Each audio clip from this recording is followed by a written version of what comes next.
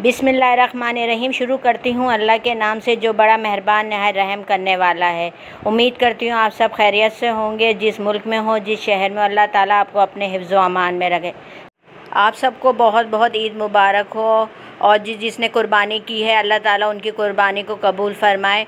और मैं आज आपको कलेजी की रेसिपी बता रही हूँ, क्योंकि मेरे व्यूवर्स ने फरमाइश करी थी कि हमारी कलेजी जो है काली हो जाती है स्मेल आती है और नरम नहीं होती। तो आप इसकी टिप्स भी बताइएगा और कलेजी की रेसिपी भी बताइएगा। तो इसलिए अब कलेजी आ इंतज़ार कर रही थी कि कलेजी आ जाए तो मैंने सुबह का नाश्ता करके सारा मैंने इसकी चीज़ें जो कलेजी में डाली जाती हैं, वो मैं सब निकाल के काट के रख लिया था। और मैं इंतज़ार करी थी, कलेजी आए तो फिर मैं वो कलेजी पकाऊँ। तो मैंने पहले शॉपर खोली थी कि मेरे बच्चे ना कलेजी खाते हैं और जो भी चीज़ें होती हैं, गुर्दे, फेफड़े और तिल्ली, ये कुछ भी नहीं खाते। तो मैंने सबसे पहले तो जब शॉपर आए तो मैंने खोल के देखा तो एक शॉपर में कलेजी अलग थी और दूसरी चीज़ें अलग थी। लेकिन मैंने फिर भी मैंने दूसरा शॉपर खोल के वो शॉपर निकाला कलेजी का। फिर मैंने वो दूसरे शॉपर में देखा कहीं उसमें तो दूसरी कोई शॉपर तो नहीं है या कोई कलेजी और हो तो लेकिन उसमें सिर्फ़ कलेजी एक ही थैली में थी। तो सबसे पहले मैंने कलेजी को टोकरी में डाल टोकरी में डालने के बाद पहले मैंने कलेजी के ऊपर जो बोटियाँ थी ना, बोटियों के ऊपर एक झिल्ली होती है, सबसे मेन चीज़, जो कि कलेजी को गलने की जो गलने नहीं देती और नरम होने नहीं देती। तो सबसे पहले आप जो कलेजी के ऊपर ये वाइट सी झिल्ली है ना, पहले आप वो निकाल लें। क्योंकि जब मेरे घर में जानवर की कुर्बानी होती है तो मैं अपने हस्बैंड को पहले ही कहती हूँ कि जब कलेजी निकले ना तो एक पीस होता है तो वो आराम से वो झिल्ली जो आराम से उतर जाती है। लेकिन ये जब आई है कहीं से कट के तो उन्होंने पीस बना लिए थे। तो इसलिए फिर मुझे एक एक बोटी पर से ना, वो झिल्ली हटानी पड़ी। लेकिन वो झिल्ली बड़े आराम से निकल जाती है। तो ये है, ये एक वजह ये भी होती है, इससे भी कलेजी कलेजी नहीं गलती है और नरम नहीं होती है। तो सबसे पहले अगर आप ये कलेजी की ये झिल्ली हटाएँगी ना तो इससे भी नरम पड़ेगी। पहली टिप्स तो ये है सही है, आपने सारे की झिल्ली निकाल देनी है, फिर एक दो पानी से इसको धो लेना है, फिर एक प्याले में पानी भरें और उसके अंदर कलेजी डाल दें, झिल्ली उतरी हुई कलेजी इसके अंदर डाल दें, फिर इसके अंदर एक चमचा सिरका और अदरक लहसुन का डाल के इसको तकरीबन 10-15 मिनट के लिए छोड़ दें तो आप ख़ुद देखेंगी कि वो सफ़ेद होने लगेगी, क्योंकि वो सफ़ेद इसलिए होगी जो उसके अंदर एक्स्ट्रा ब्लड होगा ना, वो सारा निकल जाएगा। क्योंकि हम अगर ये चीज़ ये स्टेप नहीं करते ना तो आप कितना भी धो लेंगे ना कलेजी को उसमें से ब्लड निकलता रहेगा और वो ब्लड जो है खाने में भी चले जाएगा जिससे सा, सारन काला हो जाता है। एक वजह यह भी होती है। तो इसलिए इसको सिरके और अदरक लहसुन के पानी में ना डिबो के रख दें। अच्छा अगर सिरका नहीं हो तो नींबू के पानी में ना डिबो के रख दें। कोई ये मसला नहीं है कि अगर सिरका नहीं है तो आप नहीं करेंगे। मेरे पास सिरका था तो मैंने सिरके और दाल के पानी में इसको भिगो के रख लिया तकरीबन दस पंद्रह मिनट के लिए। फिर उसके बाद आप देखेंगे सफ़ेद होने लगा। पंद्रह मिनट बाद इसको अच्छे पानी से खूब धो लें और एक प्याला नीचे रख के टोकरी को उसके ऊपर रख दें। और ये आप देख भी रहे होंगे कि मैं कितने अच्छी तरीके से ना इसको धो रही हूँ। अच्छे पानी दोगे ये सफ़ेद सफ़ेद हो रही है। और अगर एक आध बोटी, क्योंकि कटी हुई थी ना तो मुझे कुछ उस वक्त नज़र आया क्यों नहीं तो फिर मैंने जब पानी में भिगोया था ना तो उस वक्त भी कुछ नज़र आई तो झिल्ली मैंने, वो भी झिल्ली हटा दी। सही है, अब इसको ड्राई करने के लिए रख दें। जब आप ड्राई करेंगे तो आप खुद देखेंगे जो प्याला है ना, उसके अंदर ज़रा सा भी ब्लड नहीं होगा, कलेजी अब कुछ भी ब्लड नहीं निकालेगी और आपकी कलेजी इस तरह साफ़ हो गए। एक स्टेप ये हो, दो स्टेप हो गए। एक झिल्ली उतारी और एक सिरके में और भिगो के इसको रखा। सही है?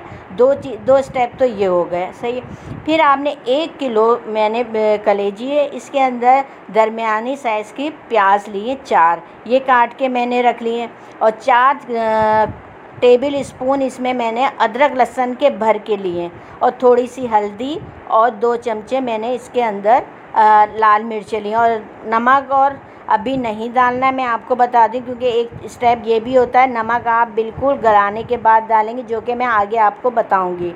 सही है? और इसके अंदर ऊपर से एक गरम मसाला डलेगा जो होममेड है। फिर इसके बाद मैंने इसका भुना हुआ धनिया और ज़ीरा। ये दोनों भून के और कूट के मैंने इसको रख लिया है। फिर आ, और मैंने एक कसूरी मेथी होती है इससे भी बहुत अच्छी खुशबू हो जाती है और धनिया और ज़ीरे से भी इसकी बिल्कुल स्मेल बिल्कुल ख़त्म हो जाएगी। आपको लगेगा ही नहीं कि आप है ना कलेजी खा रहे इतनी अच्छी यानी आप जब बनाएँगे ना तो आप ख़ुद कहेंगे और मुझे दुआएँ देंगे कि बहुत अच्छी कलेजी बनी। अच्छा मैंने ये जो कलेजी बनाई है इसके अंदर ना कोई दही डलेगा ना कोई टमाटर डलेगा सही?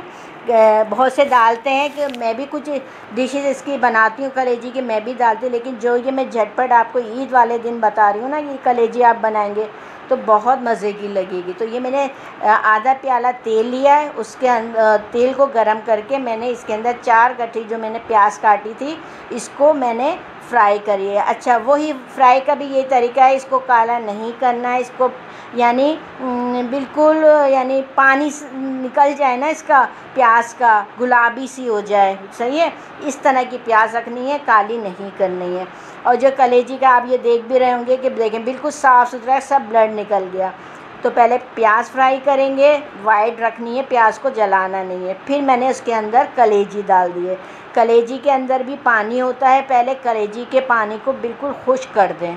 सही है कि जो इसके अंदर एक स्मेल भी होगी वो उस बुनाई में प्याज में और तेल में जब भूनेंगे ना आप तो वो भी जो थोड़ी बहुत कसर होगी वो भी ख़त्म इस रेसिपी से आप कलेजी आप बनाएँगे तो आपकी फैमिली इस रेसिपी की फ़ैन हो जाएगी और इन तो फिर ये है कि आप ये अदरक लहसन देख रहे हैं ना, आप इस अदरक लहसन जो मैंने चार टेबल स्पून लिए थे ना तो अदरक लहसन में हल्दी और मैंने लाल मिर्चें डाल दें और मिर्चें अपने हिसाब से डाल दें जितना आपकी फैमिली को पसंद है।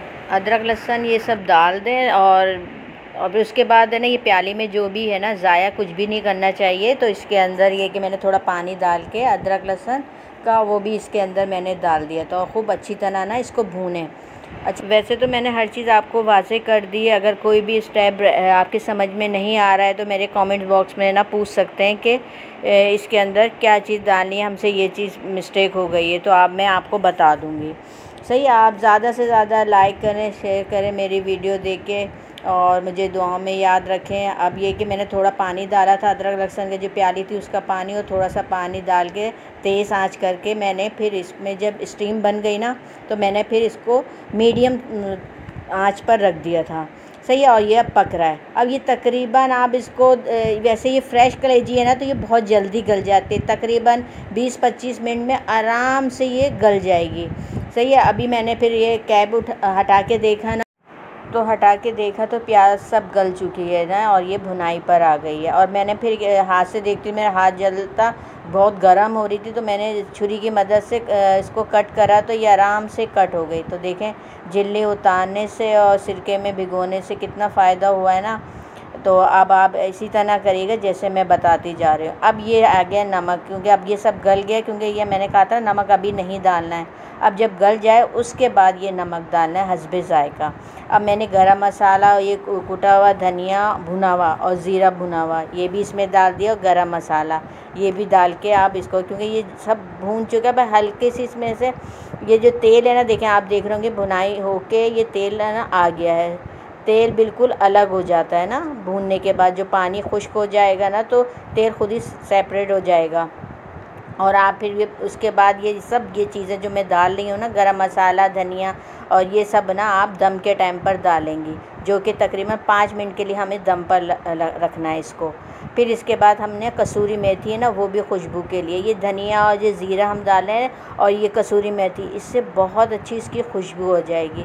पाँच मिनट बाद मैंने इसको, यानी चूल्हा बंद कर दिया, डिश आउट कर दिया। इसके अंदर मैंने हरा धनिया, हरी मिर्चें और अदरक से गार्निश कर दी और फिर मैंने दस्तखान लगा दिया। क्योंकि साढ़े तीन हो गए थे, बच्चों को भूख भी लग रही थी और तो इसलिए मैंने रोटी सुबह ही डाल दी थी और और ये तो आज तो कलेजी बन गई है। मैं आगे आगे भी ये कि, ईद के दिन है, बासी तेवासी तो जो भी मैं बनती जाएगी डिशें मैं आपको बताती जाऊँगी। और आपको जो भी फरमाइश करनी हो, वो भी आप मुझे बता दिएगा। तो अभी तो बहुत सारे आइटम हैं जो कि गोश्त से बनते हैं नए नए कबाब होंगे टिक्के होंगे। मैं हर तरह की आपको ये रेसिपी दूँगी। सही है, अब ये दस्तरखान लगा बच्चे जो है, अब खाने के मुंतज़र हैं कि बिस्मिल्लाह करें और बेटी ने मेरी प्लेट अपनी रख ली, उसमें हम सालन लेके और फिर बोटी तोड़ी करी, मम्मा देखें कितनी नरम मुलायम है ये है ना कलेजी, उसका मसाला भी बहुत ज़बरदस्त, मम्मा हो रहा है, बहुत ज़बरदस्त, और फिर उसने थम से मुझे कहने मम्मा ज़बरदस्त। ये करके उसने मुझे अप्रिशिएट करा। सही है क्योंकि हम बड़ी मेहनत से ये खाना तो बना खाना बनाते हैं तो हमारी मेहनत वसूल हो जाती है। तो इसलिए आप लोग भी जब आपकी बेटी बहन वाइफ अम्मी जो भी खाना पकाए ना बड़ी वो लोग मोहब्बत से बनाती हैं। तो आप उनकी तारीफ़ किया करें कि उन्होंने जो मेहनत से इतना ज़बरदस्त खाना बनाया है ना तो उनकी मेहनत वसूल हो जाती है। क्योंकि ये ना चलें अब नई मैं रेसिपी के साथ आऊँगी मेरी तरफ़ से आप सबको ईद मुबारक और अल्लाह हाफिज़।